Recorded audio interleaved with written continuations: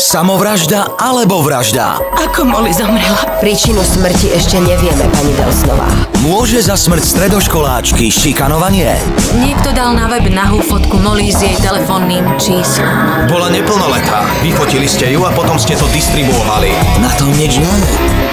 Kosti. V nedeľu o 20.10 na Wow.